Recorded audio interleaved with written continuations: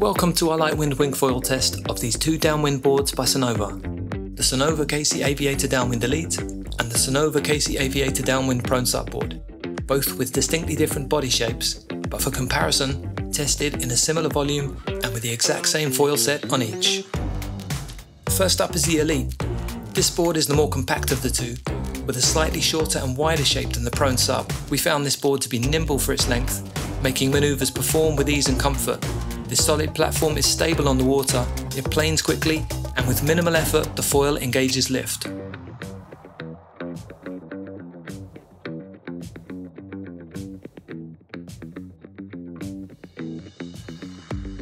It's important to note that whilst the primary design of these two boards might be for prone and SUP foiling, we have found in our testing that they equally make for excellent wingfoil boards opening up very light wind sessions, as well as the aforementioned downwind opportunities for more adventurous excursions out in the open ocean. These are super versatile boards that grant the rider a massive boost in range through which to enjoy their foiling activities. Next up is the Downwind Prone SUP.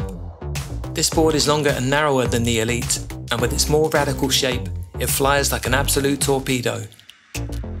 Planes on the water like crazy, requiring almost no wind to get motoring, and it accelerates into flight like nothing else.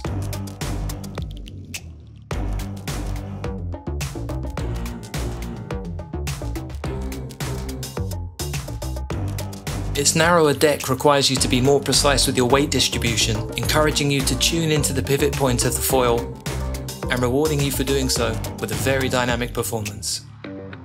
Stay tuned for our soon coming follow up deep dive overview of these two boards and follow my personal progress from absolute beginner prone foiler as I attempt to learn new foiling skills and disciplines on these boards. Until next time.